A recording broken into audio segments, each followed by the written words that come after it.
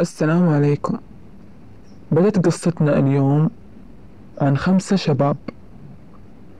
كانوا من أنواع الشباب اللي دائما يتعاطوا المخدرات ويشربوا المسكرات. كان منهم واحد حق سوابق. نقدر نقول كان القائد حقهم. وفي يوم على أفعاله هذه دخل السجن وانسجن. وصادف وقتها المسؤول الضابط اللي كان مسؤول عن قضيته. كان إنسان جدا صارم ويمشي بالحق. وفي يوم جاء وطلب منه دخان. طبعا الضابط رفض طبيعي. فمن ذاك اليوم وهذا الشاب حاقد على هذا الضابط. وبعد مدة انتهاء حكمه طلع من السجن.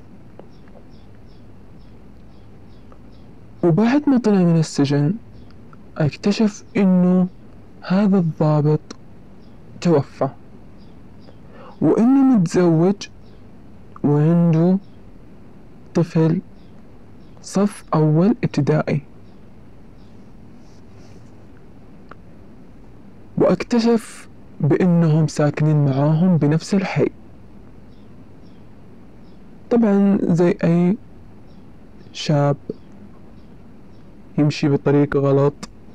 بدأ الشيطان يوسوس له ويعطيه أفكار جدا سيئة. راح لأصحابه اللي هم الأربعة وقال لهم إيش رأيكم يا عيال؟ والله يا في ولد جميل جمال ما أقدر أوصف لكم هو. إيش رأيكم اليوم؟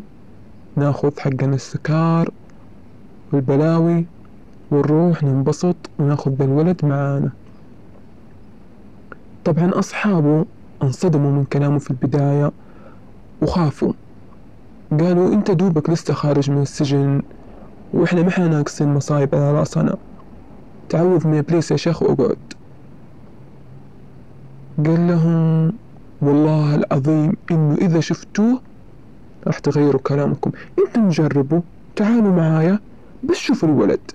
إذا ما عجبكم نرجع ما عندكم أي مشكلة. وبعدين إحنا خمسة وهو واحد وصف أولى ابتدائي يعني طفل. يقول جلس كذا مرة يحاول فيهم في البداية كانوا مرة خايفين ورافضين الفكرة. لكن بعد إلحاح وإصرار منه وآخر شيء أقنعهم يوم ما قال لهم أنتم تعالوا شوفوه وإذا ما عجبكم بطلنا. وفعلا ركبوا السيارة وأخذوا معهم سكارهم وبلاويهم وطلعوا. كان هذا الولد دائما متعود عنده روتين إنه دائما بعد ما يرجع من المدرسة يروح يلعب كورة. عندهم بالحي في ملعب دائما عيال الحارة يروحوا يلعبوا فيه. فكان هذا الولد دائما يروح يلعب هناك. طبعا هذا الولد اللي هو الشاب عارف ومراقب نظام وروتين هذا الولد. وفعلا راحوا الملعب وجلسوا يطالعوا لين ما لقوا الولد. وبس شافوا أصحابه رجعوا وافقوا على فكرته. وفعلا نزلوا من السيارة ونادوه.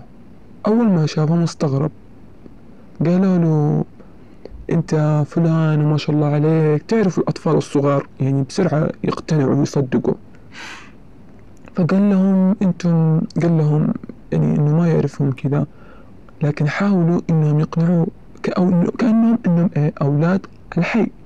إنه من نفس الحي وإحنا جيران وإنت قاعد تلعب في هنا هذا الملعب في ملعب ثاني في الجهة الثانية من الحي.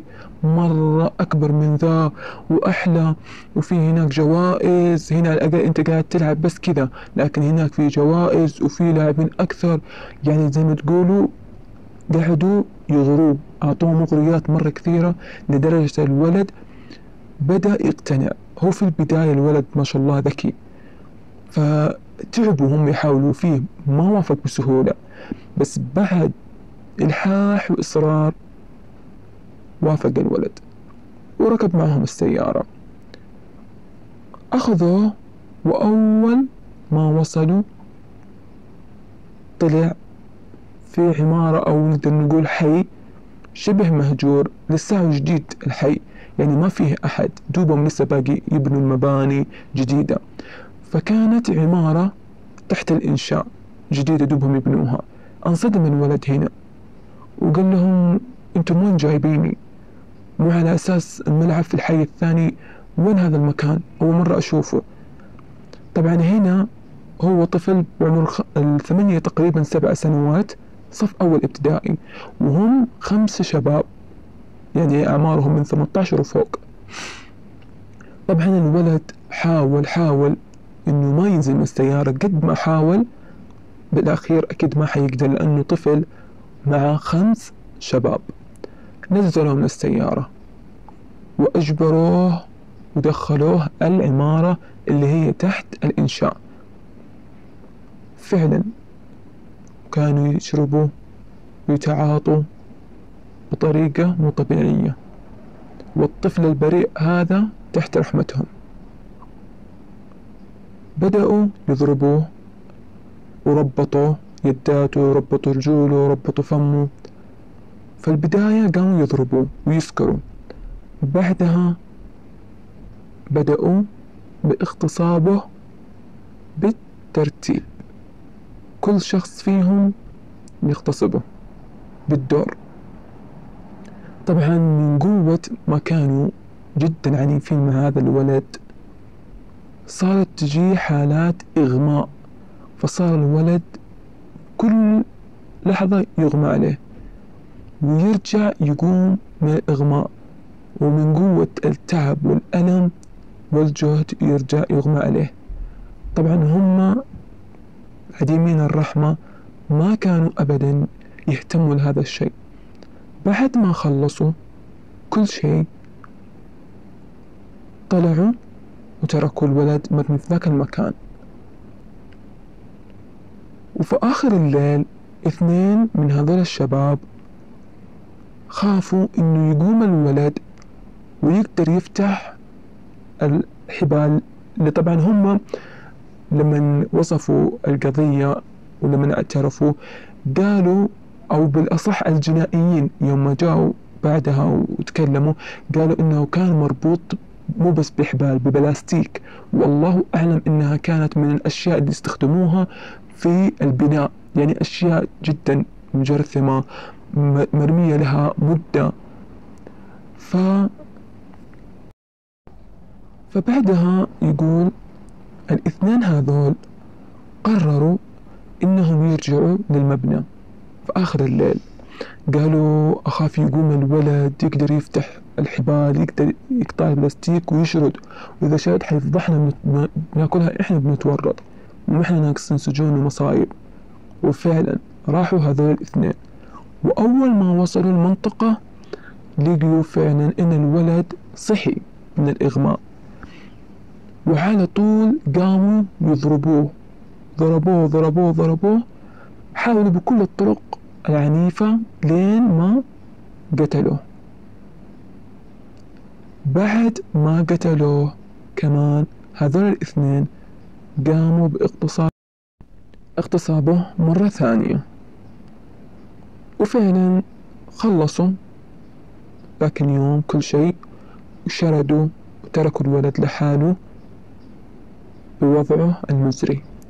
بعد يومين من وفاة الولد وفعلا كان باقي مرمي في نفس المبنى ذاك. طبعا الله أعلم أن وقتها العمال كان عندهم إجازة. ثالث يوم داوموا وشافوا الطفل مرمي هو جثته. على طول كلموا كفيلهم ورجع. جاء وانصدم من اللي شافه وهو بلغ الشرطة. أول ما جاءوا بدأوا يحققوا كذا فأخذوا منه اللي هو الدي ان اي وحللوا وبعدها شافوا معلومات يعني إنه كان في بلاغ أمه مقدمة بلاغ على اختفاء ولدها. وفعلا عرفوا بإنه هذا الطفل الله يرحمه كان طفلها اللي هو مقدم بلاغ على اختفائه. وبعدها اشتكت طبعا المحكمة وطبعا وجدوا الله أكرمكم الله هو اللي هو السائل المنوي اللي هو كان موجود فيه. وبعدها فتحوا القضية وقاموا بالمحاكمة اللي هو محاكمتهم. في البداية حكموا على اثنين منهم اللي هو بإعدام والثلاثة الباقيين حكموا عليهم خمسطعشر سنة سجن. طبعا الأم هنا ما قدرت تتحمل إنه كيف. يعني هم اللي قتلوا ولدي في الأخير بس خمسطعشر سنة ويطلعوا من السجن. فرفعت ديوان لولي الأمر طبعا قديما. فطلبت منه بأنه يأخذ حق ولدها وأنهم كلهم مشتركين في الجريمة وأن ولدها يعني انقتل ومات بوحشية واغتصبوه وتم تعنيفه وضربه. وبعد مدة أعادوا فتح القضية من جديد والحمد لله رجعوا غيروا الحكم وحكموا عليهم الخمسة كامل إعدام.